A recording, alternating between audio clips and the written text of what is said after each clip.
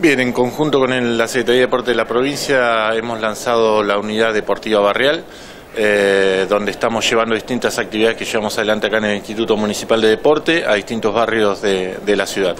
Hemos estado en las 640 viviendas, hemos estado en el barrio La Cantera, este fin de semana vamos a ir al, barrio eh, del Río Pipo, que es un sector que tiene mucha demanda deportiva.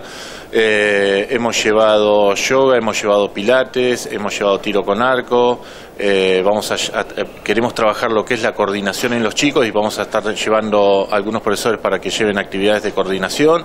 Eh, este fin de semana vamos a llevar y también al barrio del Río Pipo, así que eso es lo que estamos haciendo. Con el cuerpo técnico de profesores, estamos recorriendo los barrios donde los vecinos nos dicen cuáles son o creen que son la demanda que eh, o, la necesidad que tiene el barrio y de ahí en más nosotros eh, vemos las actividades que podemos llevar.